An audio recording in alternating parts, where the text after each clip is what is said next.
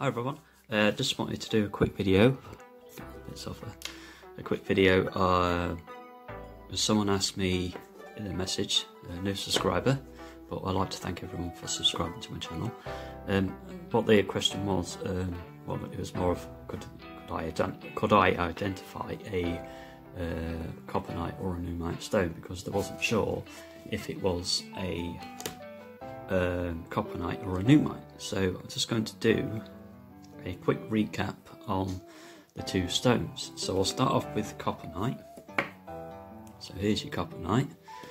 So the zoom in a bit. So coppernite has these small little copper flashes. So you've got the small copper flashes and also you can see these black spots in it and like a light grey base. So you've got those little, what I call like little glinting stars in the night sky. So uh, you've got these like copper little flashes to it, and the light black and light grey uh, base. So that's your coppernite, and I will do a side by side, so you can, if you want to see them side by side. And this one is the nuummite, very different. These flashes of copper going one way, uh, all going, normally generally going one direction, but this stone has not going in all different directions. So um, you, I've got all these different uh, gold flashes in this one. So normally you will get this in other colours like blue uh, to um, yeah blue to red to green you get all these different variations of colour and sometimes purple but red is the rarest colour um, of the nuummite stones. So you will only yeah, get that. You get those colours in the nuummite stone. So let's have a look at these on compared to each other. Just having a look on side by side. So I'll just turn that one and then you can see this one.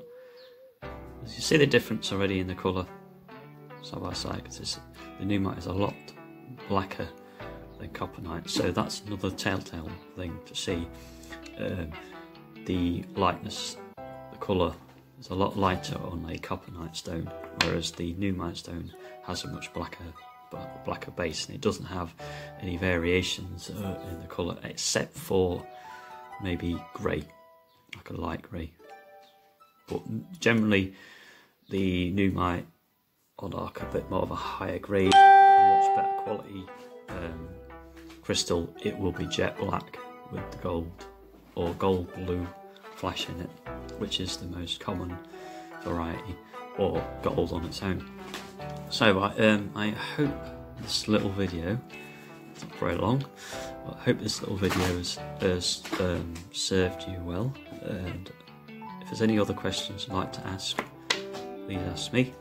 Um, I have ordered another little moonlight stone because I do like the stones. There's something about them. So I just thought I'd, going to make it into a little pendant like this. Just going to drill the top and I might do a little video on showing how you do it because I did do a video on how to make your own pendant. So I thought if I can do a live, not a live, can't do lives yet, but if I do a um, a video on the process of doing it, then I'll, I'll do that and show you how to do it yourself with the Dremel and the um, the drill bit.